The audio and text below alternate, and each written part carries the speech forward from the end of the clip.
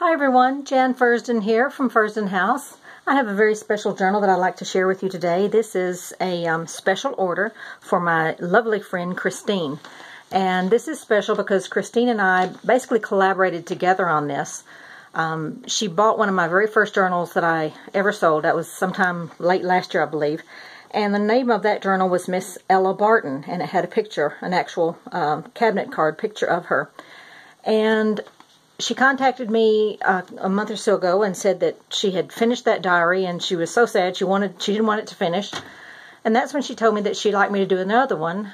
And what she does is she creates short stories around the journal. So last year she created stories around Ella Barton. And this year she asked me to create one for um, Etta Place and I'm not sure if any of you are familiar with her. Um, i know a lot more about her now than I did, but Etta Place uh, was there's very little known about her other than her primary uh, association with um, Butch Cassidy and the Sundance Kid. And yes, there was a movie, I think it was back in the 80s, with Paul Newman and Robert Redford and Katharine Ross. Um, I remember seeing that, so it's kind of neat that I'm coming back here and creating a journal for it. But this journal, as I said, is about Etta Place, and it might be what happens is that uh, Etta Place's great-granddaughter, you never know, we don't know that much about her, uh, her great-granddaughter may have found this diary. And so that's that's just one of the possibilities. But that's in Christine's department. My department was to do the easy stuff and just come up with a journal. So, um, as I said, it is a special order and I'll go ahead and start with the um, the uh, dimensions and everything. It's six and a quarter inches wide by eight and a half inches long. It's about two inches thick, and it has two signatures. Um, I've tried to keep it as old looking as possible. That was my goal, uh, and it became quite a challenge because when you're trying to create something old, you can't use things like Tim Holtz little paper clips and, you know, things like that. And then I would find myself looking at something I'd printed off the internet for an advertisement from 1904, 1890, something like that. And then they have a dot com address on the bottom of it. So it really got to be quite an interesting uh, game. But I think I've got all the little glitches worked out. So we're going to go ahead and open it. And there you see the, it is two signatures. And there's the reverse. And I've just got it tied together because, again, you don't want the, the neat little um, hooks and closures and stuff that we always come up with. Because, again, hello, they didn't exist back then. So, what I've done, I've taken a, a vintage piece of um, crocheted lace, put it around the spine, and then I've just tied it together with this piece of muslin that I got from my friend uh, Annette at Boho Provision Company. Thank you, Annette perfect for it. Um, so let's go ahead and open it up. Now again, the idea is that it's supposed to look old and, and so on and so forth. So, uh, as a matter of fact, Christine gave me a couple of items to put into it that she had, and I thought that was fantastic. And this is one of them. This uh, lace pocket that I've created here is about 100 years old, and it's just gorgeous. And I reinforced it with cardstock underneath so that it wouldn't rip. And inside there, I have a, uh, a rose. I, I've had this rose for years and years. I saved it for some reason, didn't write why I saved it, so I thought, well, now's the time to use it. And I think there's also a four-leaf clover in there, but it's it's for my own personal um, stash, if you will. And again, I, I thought, well, it just keeps laying around and laying around, and I just simply do not remember what it was for, so that's that. And then here is a photograph of both, um, this is Sundance Kid, this is, um, his name was Harry Alonzo Longabaugh, and Etta Place and he were um, married, uh, they think around the 1904, 1902, somewhere in there. As I said, very little is known about her. Uh, and there are only two photographs of her that are uh, specifically authenticated as being her, and one of them is very difficult to even look at, and I'll show you that later. Uh, but you can barely tell it's her. But this is this is the Sundance Kid. That's his actual photograph, and that is Etta Place. And I've just put um, a couple of things. I had this really nice uh, advertisement on the back from a photographer in Chattanooga, Tennessee, and then I was reading about her, and well, that photograph was taken in New York City at the DeYoung Portrait Studio. So I thought, well, great And of course, I couldn't find any advertisement for that online uh, for that time frame, so I literally just typed this up and then just put it on the back. So it says DeYoung Portrait Studio, Union Square, Broadway, New York City, New York, 1901. That's when that photograph was taken. And there we go. And then here is literally just a um, some of the historical information that I got about her. And I, am not going to read it. It's very fine print. I, I, did it so that it was, I love this print. It's difficult to read, but it looks beautiful. And I thought, well, I'm just going to go with it. But that's just a little bit of um, historical information where I got my information from. I'm going to put that down in there. And here you'll see bits and pieces of fabric and lace that Etta may have saved. Um, she supposedly came from a moneyed background, um, so she would have had fine things, but apparently she gave that all up for uh, Harry Longabaugh. So this is just a lace flip that I've used, and that probably came off of a gown that she had. That's that's my story. Here we have a vintage piece of grosgrain ribbon and a little um, cameo that I've had and kept it for ages and ages. It was really neat because everything just sort of came together with this. And here we have an old, um, it says birthday greetings, and it was from the 1910, 19, I want to say 1910, 1908, somewhere in there. It's really neat because it's raised. This is an original, by the way. It's it's a uh, postcard photograph, or postcard greeting card. And just gorgeous because that, that is raised and it's just so pretty.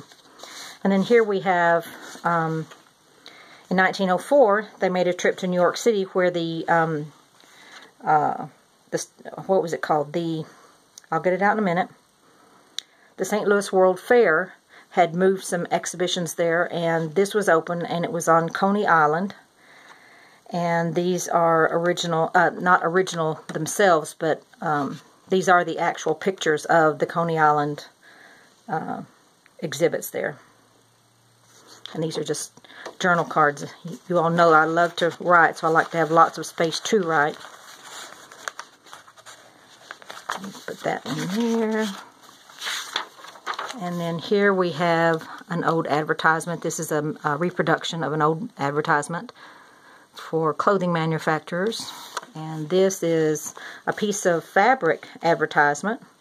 Um, Chicago McVickers Theater Building and it's just uh, stained paper on the reverse. Again, more journal space. Here we have some sari silk that uh, I just made a little accordion thing thing for it. this is one of my um, dried flowers that uh, or pressed flowers that I use. This is passion flower. It's also known as the mock apricot. And this is a card that I had that um, it's actually in Germany. Um, but we don't know if they made it over there or not. And the really neat thing about being an artist is you take artistic license. And the idea is you don't necessarily go with the probable, you go with the possibilities of what could have happened. So it's it's nice to be able to have a little artistic license in there. This is a little uh, glassine bag that I've just stained, and I didn't stain it, I'm sorry. Uh, this is from my friend Renelle. I love these little cards. And I've just put a little vintage button on the bottom of it to give it a little bit of zing. So thank you, Renelle. I, I'm using all of the things that I purchased from you. They're just, I love them. And let's see here. This, uh, this is a pocket. Again, from one of her fancy dresses, perhaps when she was younger. And this is an original page from a, um, what do you call it, a, a, a yearbook from 1910 no, I'm sorry, 1911 and 1912, I believe is what it was. And we don't know who she is. It's not Etta Place. But I loved that when I came across uh, what it said underneath, that's when I said, okay, that one's got to go. And it, she, it says, Oh, woman, lovely woman, nature made thee to temper man. I thought, well, okay, that sounds good. and they're the officers of the class in the sen senior class. But that is an original from the, uh, the scrapbook. I purchased it years and years ago, and I'm slowly using it up. This is just a bit of lace from another outfit she probably wore and vintage buttons. Again, we just don't know where they all came from. This is um, sort of like a little receipt. And those are just, uh, these are originals that I had. I think those came from my grandmother. She had a, a little receipt booklet thing that she gave me. And this is a playbill for the um, the theater Hands Across the Sea. And again, it's just more space to write on. And this card here is also an original. This is the Otocyon, I believe is how it's pronounced. Um, it's an, an animal, I believe it's from South America or perhaps Africa. I can't quite remember which one. But it's in essence, it's a long-eared uh, fox. It's in the fox family. And that is uh, an original advertisement, uh, copyright 1890 by the Arbuckle Brothers Coffee Company. And again, I got that from a scrapbook that I'd purchased some time ago and took it all apart. I mean, it was, it was falling apart, the scrapbook itself, but I was able to salvage a lot of the things that had been pasted in there, and this is one of those pieces.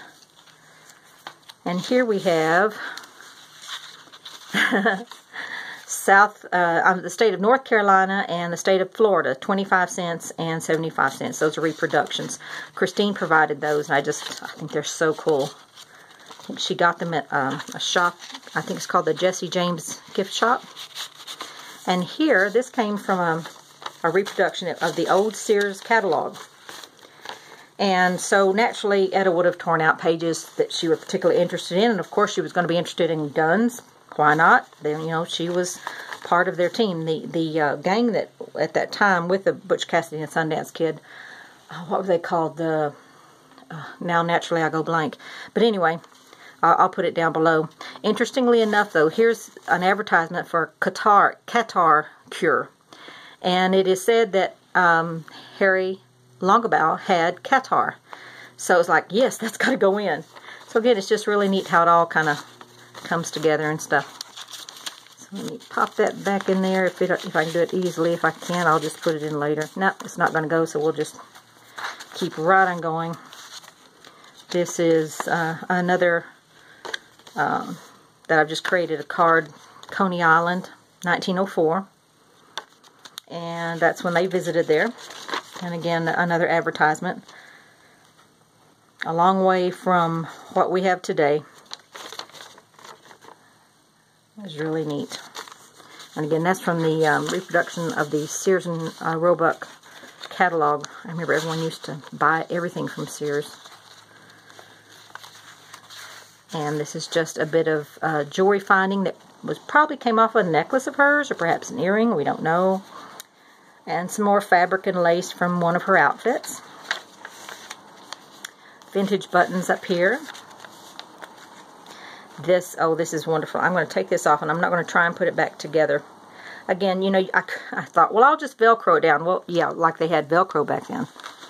So, I thought, well, I've got these little tiny safety pins, which they did have back then. And this is what uh, Christine provided me with. So I've just made a little envelope out of some old lace that I've dyed. And inside, so pretty, so fine. I want to make sure you get the, their gloves. Here we go. Here's the end. I'll, upside down. But those are gloves. They don't have the fingers in them. And just the finest lace. We don't know how old they are, I don't but Christine wanted those included and it was my pleasure to do so and it was also my pleasure just to see them. I'm going to put those there because to get it fastened is a bit tricky. But again, couldn't use, uh, you know, they had sewing machines back then and they had safety pins, but they did not have Velcro and, and all that fun stuff. Over here, this is also supplied by Christine. It's just an old piece of jewelry, beautiful. Uh, looks like it's hand painted, feels like it as well. It's uh, of flowers and it was just perfect sitting there. This is just some plain paper there. And this is an original piece from, again that um, that yearbook that I had, the famous Bach Choir at Bethlehem, Pennsylvania. And you can use the back for journaling space if you'd like. That's what I would do with it. It is an original, but it's still needs to be used.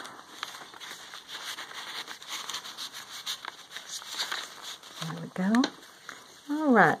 Another piece of uh, cloth that came probably from one of her dresses. And some more money. I like this one, of course, being from, not from Alabama, but lived here long enough to claim it. The state of Alabama, $100. And these are reproductions. And here's uh, Confederate States of America, $500, which at the time was probably worth about 3 cents due to the economy failing and everything.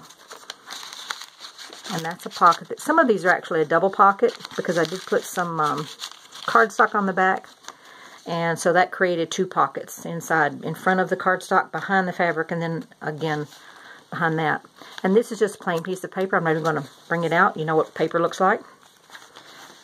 I, uh, in some of my research, I found where they would use um, black and white gingham. And it just so happened I had a black and white gingham uh, ribbon, so I had to include some of that. And that's an, a vintage glass button. Amazing that they were making them so beautiful back then. This is another piece that I've had for years and years, and it just I kept looking at it and never used it, and here it is. It's making its debut finally. I bought it at least 30 years ago. They're real flowers, and they're inside a, a film. You, you peel off the back, and, it, and it's very sticky, so you place it down on there. But the, the flowers are inside, uh, encased in this piece of plastic or whatever. It's kind of hard to explain, but there it is. So it finally got to make its debut out there. This is just a fabric rose. Here we have a little um, fabric snippet. This is from a, a, snippet roll that I created. And, um, or not a roll, but um, just pieces like that. And I, just, I think they're lovely. Old lace, vintage lace. So, here's the second picture. It's, uh, as I said, only two pictures are known to exist of Etta Place that can definitely be traced to her. And this is the second one. It, it actually included a picture of, um, oh, on this side, of uh, Butch Cassidy, but this is not about Butch Cassidy. It's about Harry Longabaugh and Etta Place. And there's Harry, the Sundance Kid, and there is Etta Place. And again, you can see it's very difficult to tell that that is her, but those are considered the two pictures of her. Some more lace from another um, outfit that she had. This is a little pocket I created using some, um, what do you call it? I can't even think of the name of it now. Not not acetate, but um, I put inside, this is an original, and it's very, very delicate. It uh, is a calling card.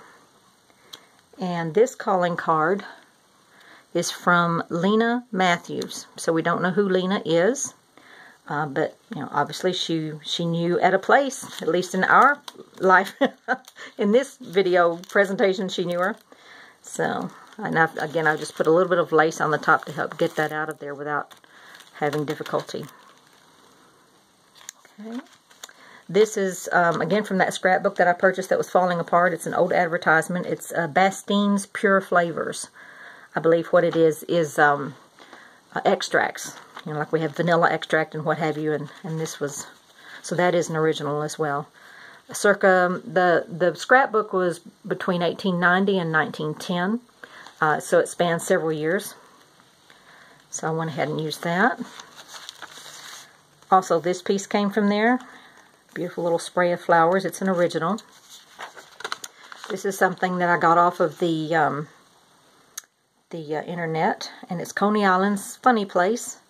Gives you attractions and stuff. And they visited Coney Island. That is recorded about 1904.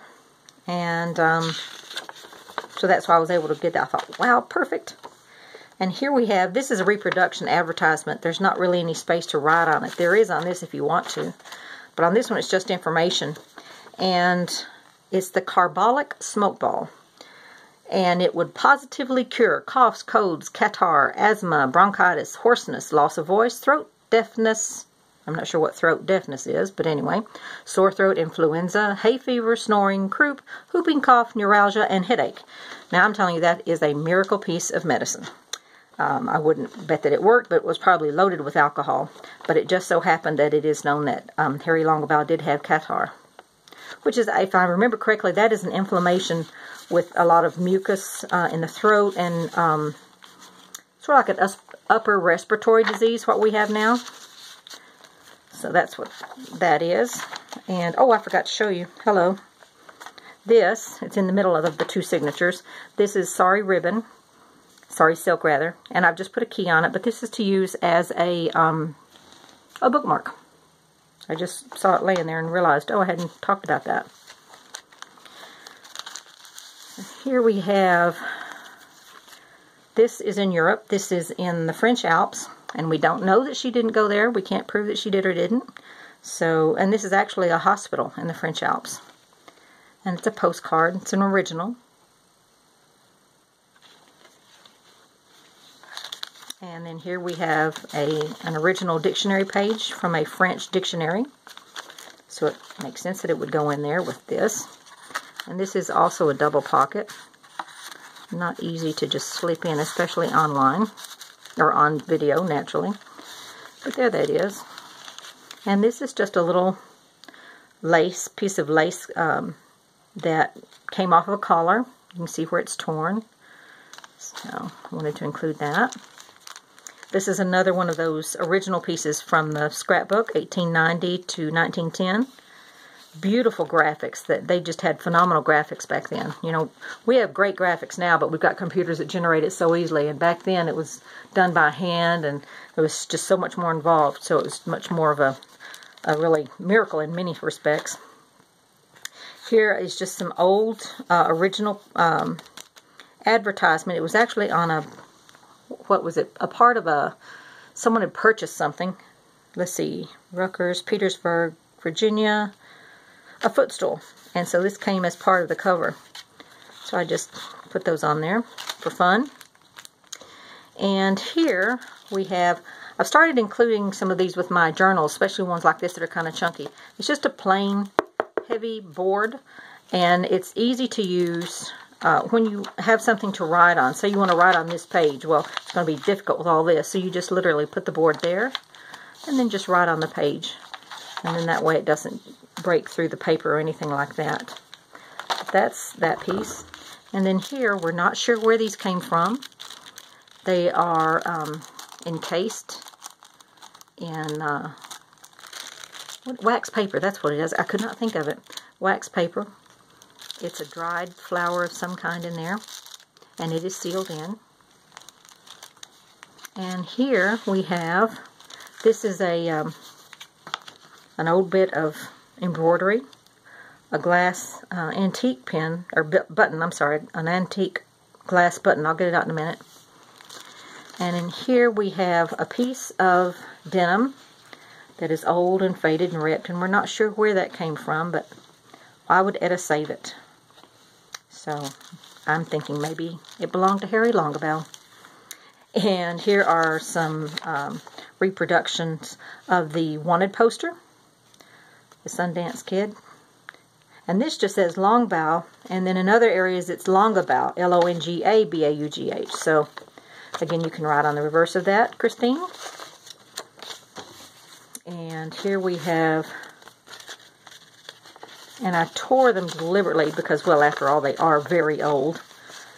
But there it is. This is Butch Cassidy. That's the Sundance Kid. $5,000 reward for both of them. At one point, the reward actually got up to 30000 if I remember correctly. They were quite, uh, the Wild Gang, that's, that's the gang they belonged to, I knew it would come to me. And these are reproductions from the Pinkerton National Detective Agency. Uh, the Pinkerton stayed on them and stayed on them, and um, they never identified exactly um, when they were killed. They think they know, but they never 100% uh, identified the bodies. So it's it's a mystery, and if you watch the movie, you'll see a, a, different ending, which still leaves everything nice and up in the air, so that people like me can just form all kinds of cool stuff, ideas, and things about what really happened. But that's just information from the Pinkerton Agency. So that is it. Um, Christine, it has been an absolute delight doing this for you. Um, I thoroughly enjoyed it. I never even thought about doing something like this, and I thought, what a neat idea. As soon as she sold me, I was sold. It was like, oh, yes, well, of course I'll do a special order for you, because with that kind of a neat idea, of course. So I do hope you enjoy it. I thoroughly enjoyed doing it for you, and um, I, I hope you enjoy it. If not, You can send it back to me and I'll use it myself. So that's it for now, folks. Thank you very much for your patience. And if you have any questions or anything, feel free to give me a call or give me a call. Put the question down below in the comments section. Take care and have a blessed week. Bye bye.